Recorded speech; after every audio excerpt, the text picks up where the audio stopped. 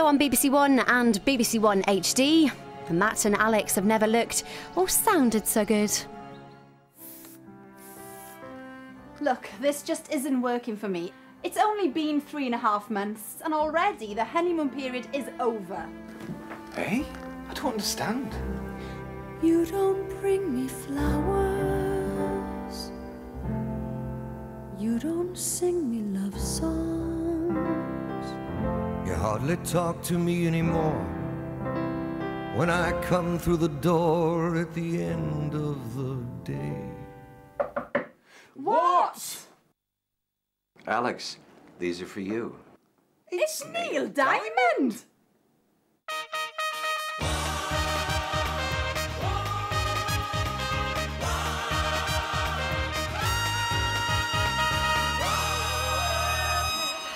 and welcome to The One Show. And first of all, I'm sorry, Barbra Streisand, if you are watching. That was a terrible impression. Yeah, well, at least you're not about to sit in front of the person that you've just done an impersonation of. Ladies and gentlemen, I can't believe it. Neil Diamond's on the one show!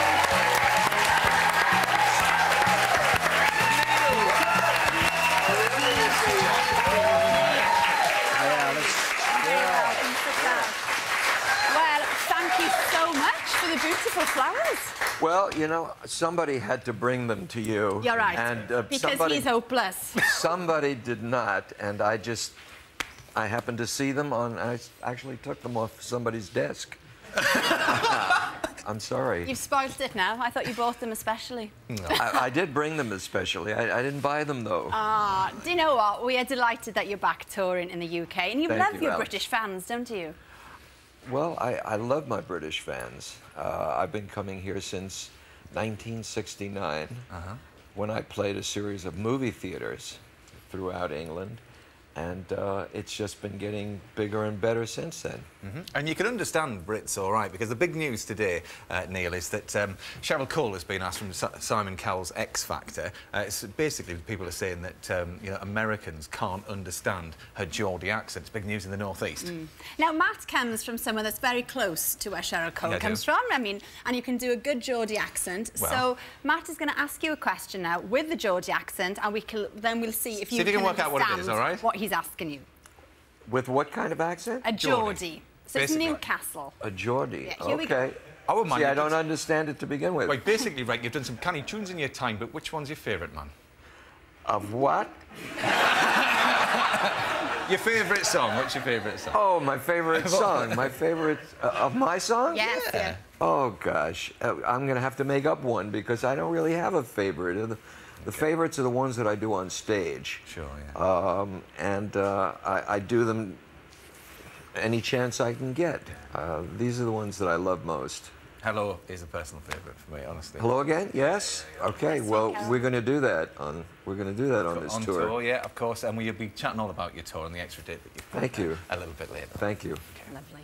Okay, advances in technology mean that we now know exactly what's happening minute by minute during conflicts in places like Libya and Afghanistan. Retired war correspondent Michael Nicholson's been to a new exhibition in Manchester. Michael Nicholson at the Imperial War Museum North. And the BBC, by the way, has a brand new website featuring films made by soldiers in Afghanistan, and you can find that via our website. Now, Neil, we were just chatting there in the film. Your, your father was in the military, wasn't he? And you moved around quite a lot uh, as a young boy. Yes, that's right. We moved around uh, Brooklyn quite a bit, and uh, so I got a taste of many schools in Brooklyn. Is, But is, was it hard then, as a, as a young boy, going to so many different schools? I, I think so because it didn't give me much time to make close friends. Um, but uh, I did find solace eventually in sports, first of all. Right. I'm a big sports fan, and then in music. So uh, it worked out very well. Mm-hmm. Okay. And you're about to embark on an eight-date UK tour. Yes, that's yes. right. So before we chat about it, let's remind ourselves why Neil Diamond has sold over 130 million records. Song sung blue, everybody knows one. Love on the rocks. It ain't no big surprise. Sweet Caroline.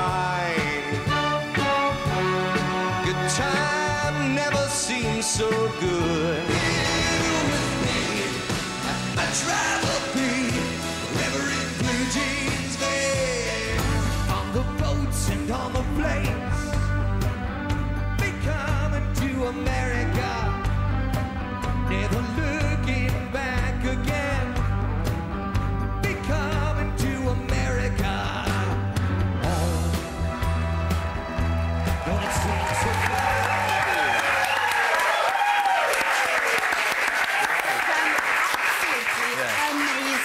costumes there, particularly like the red jumpsuit.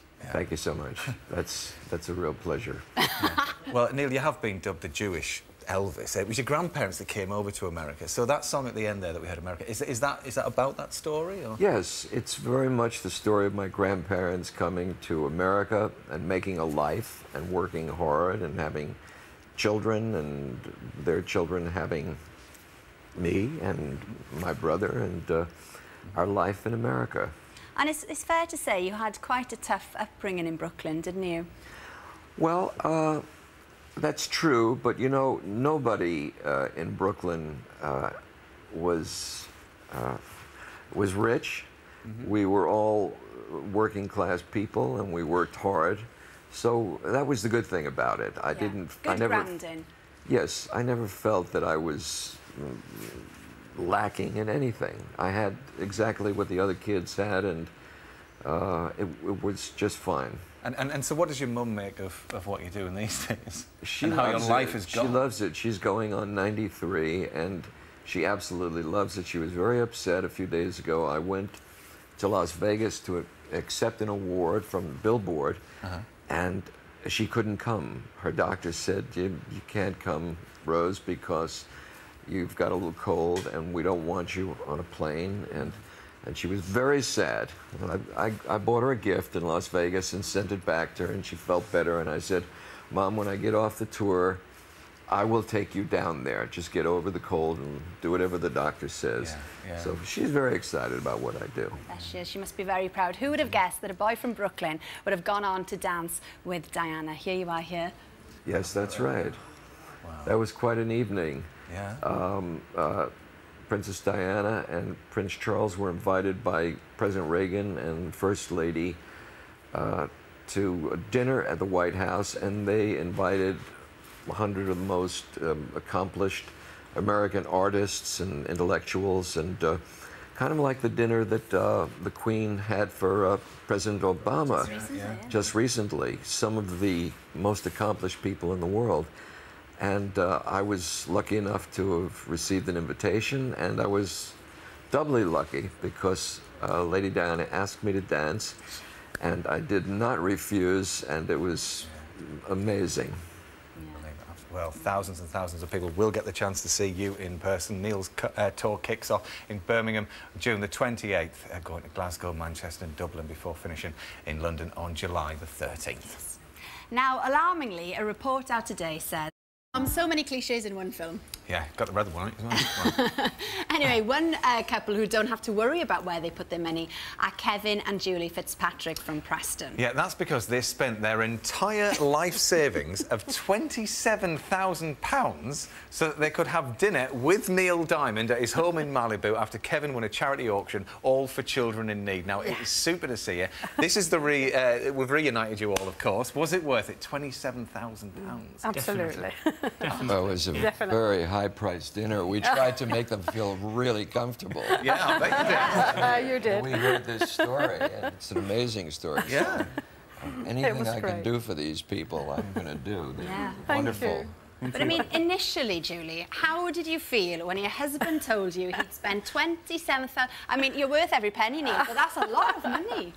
Absolute shock, I have to say, yes. I, I was speechless for one time in my life. How was the house? It must have been amazing to go into Neil's house. Oh, it was, yes. But uh, the, the thought of, of how much money had gone, you know, Yeah. but um, yes, it was wonderful. And you got a little bauble as well, didn't you? Yes, we did, yes, off Christmas tree. Very nice. Brilliant. And do you put that on your Christmas tree? Oh, Oh, we we do, do, yeah. yes, yes. Yeah, and back in the definitely, box. Oh, there we are. Right now, Neil, do you um, do you recognise these? Let's have a little look at the monitor there.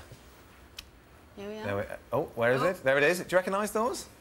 That looks like my garden. That is your garden. That is your garden. Very lovely it is too. How did you get in? We'll talk about that later. In the meantime, Christine Walkden has been poking around the borders of Britain's best-known botanist. It's that County Durham air that keeps him young. I tell you. And a lovely pink front door as well, though. Indeed. Anyway, back to you, Neil. Now then, um, you started songwriting at university, but going back those, uh, you know, back to that time, it wasn't because of music you went to university in the first place. You had a scholarship for doing something completely different, didn't you?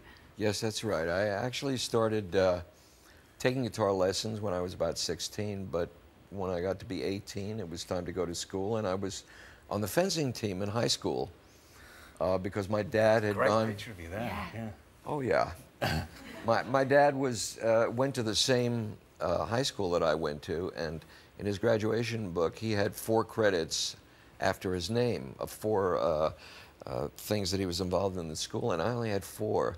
So I joined the fencing team, and I fell in love with the sport, and actually went to New York University on a scholarship, and f- competed and fenced for New York University for four years. So uh, it was all, my whole life seems like an accident. It really does. Uh, even the music, I mean, I've, I've sung since I was a kid, but uh, I didn't start taking guitar lessons until uh, the Brooklyn Dodgers, which is the baseball team if Yeah. you're from Brooklyn. Uh, un- until they left Brooklyn, they actually moved to Los Angeles, and I was so depressed that my my parents offered to buy me a guitar at a dollar a week for 10 Gosh. weeks and to give me lessons if I would stay with it for 10 weeks. Yeah. And I took them up on it and I never turned back. I started playing guitar and, and writing songs. Yeah. So it was all, it all seems like a all- fantastic accident to Well, me. it's all certainly paved its way. It's just incredible. Yeah, incredible. it is. Good. Um, well, on some on a different note now, despite doom and gloom predictions from one Californian preacher, the world didn't come to an end on Saturday. Thank God for that, Tony. No. I was, I, I kind of knew it wouldn't. Well, yeah. We have all seemed to have survived, but as stargazer Mark Thompson has been finding out, there could be something quite nasty up the sun's sleeve. Very much indeed, Mark. Now, there's going to be lots of excited people out there, Neil, noticing that you have your guitar in hand, but you can catch the man himself on his eight-day tour starting in Birmingham on the 28th of June. Yes, on tomorrow's show, Chris and I will be joined by JLS. We leave you now with Neil Diamond, and we'll see you tomorrow at 7. Bye-bye. Beautiful. Here we go. Hands, Oh, here we go. touching hands, reaching out, touching me, touching you.